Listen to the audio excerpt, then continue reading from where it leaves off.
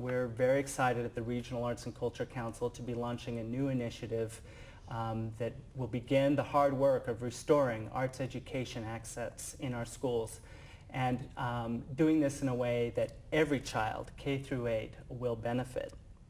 And so um, with that in mind, uh, we wanted to spend the bulk of our time here today talking about the Right Brain Initiative. And we have a video that we would like to share um, that will begin to communicate um, some of why we think this is important and then after the video, we'll come back and have a little bit of a discussion about how this is going to work in the Tri-County area. Let's take out our handy crystal ball. Right there, next to our iPhones and Blackberries. What sort of world will our kids enter? It will be multinational, multicultural, digital, handheld, real, virtual, propelled by images and music as much as words. It will be both more hopeful and frightening than any age before it. And, like it or not, keenly competitive. In that world, their world, factories and foundries won't rule the day, but ideas. Unshackled, integrated, 360-degree imagination. So, we have to ask ourselves, is now the time to pull the plug on arts in schools? The arts, which enhance every aspect of education, from reading and math to critical thinking, social skills, and motivation. The arts, where dance, drama, music, and motion help young children turn the ABCs into actual literacy. The arts, often the final link tethering at-risk kids to school. Arts woven through a curriculum change have to into want to, and create places of teacher innovation, community engagement, spirit, and common ground. And while 93% of Americans see arts as vital to a well-rounded education, you wouldn't know it from our Cut Arts First policies. Which brings us to our mission. Brains come with two sides for a reason. They need each other. They fill in each other's voids. One is messy by plan, the other regimented. One is linear, the other bounces off walls. One reasons, the other feels. But what happens when they work together is magical. Magical enough to make kids connect, achieve, aspire, succeed. In a future that needs the full measure of our thinking, we can't leave kids half interested, half motivated, half engaged, half ready. Remember the right brain. It's not an education without it. The Right Brain Initiative.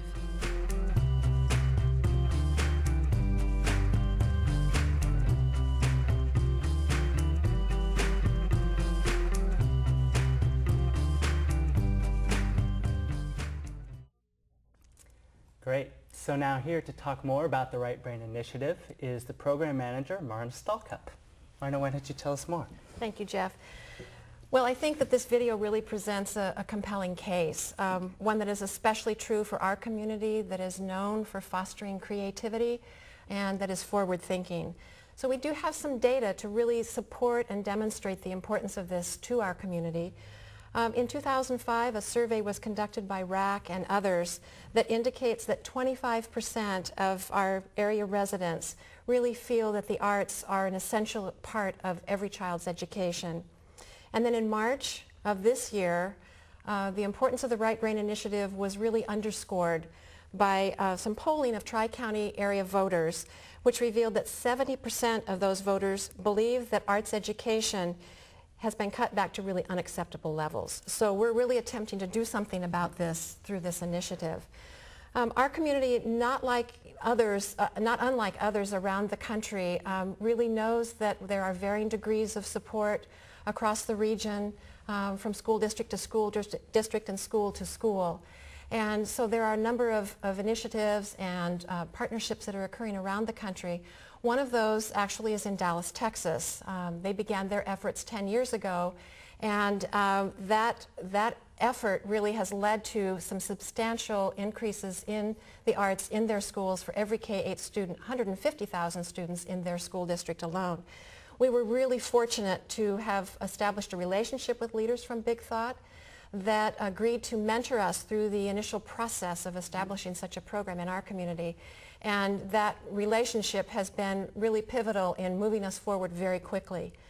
So in the fall of 2007, we engaged the community in a series of conversations about the potential of this in the Portland area. We met from uh, Hillsboro communities over, out to Gresham and south to Milwaukie and all points in between and really brought in members of the community to take a broad look at what do we value, what do we want our children to aspire to, and how might the arts assist in that process. We looked at the opportunities, we looked at some of the challenges that that might, that, that might present as well.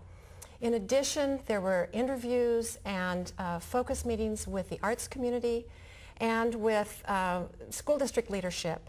And we talked with them about some of the same things. And what resulted from all of those conversations and all of those interviews um, was really a, a stakeholder feedback report that we synthesized down to a purpose statement that has really been our compass and our guide throughout this initiative.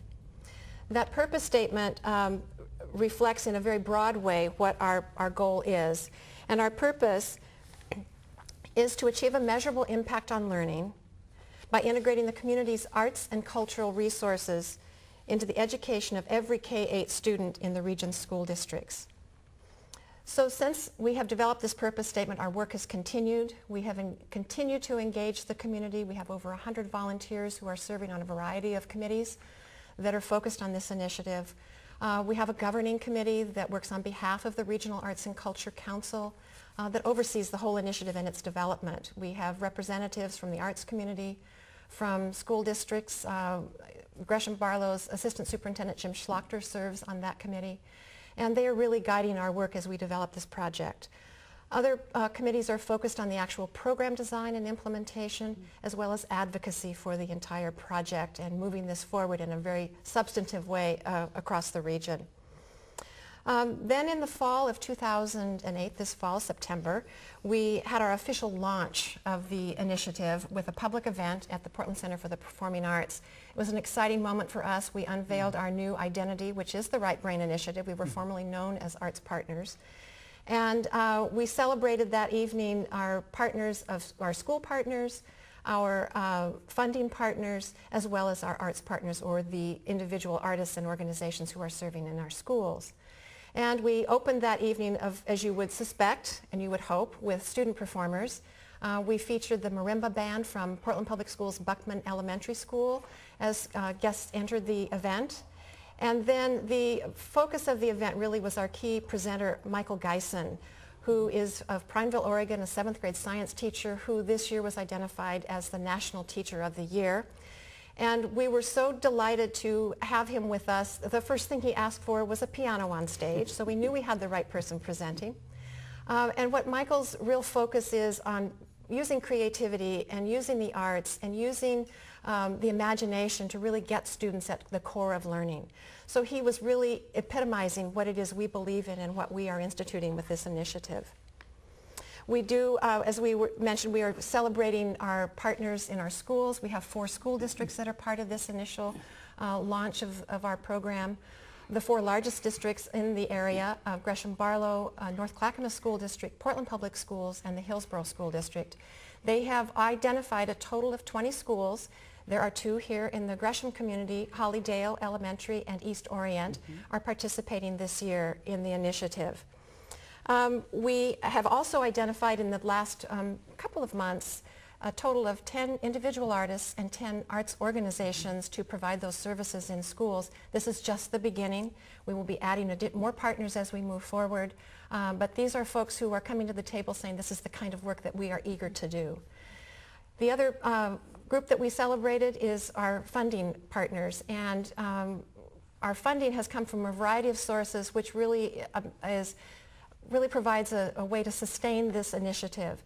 Uh, roughly 50% of our money is coming from the private sector. That's both uh, corporate and foundation money. 30% coming from public sources.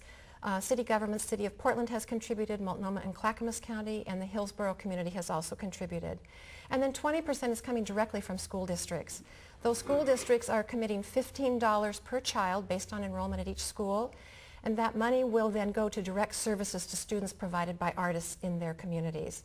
So we are really optimistic about the success of this program given that we have so many partners joining us.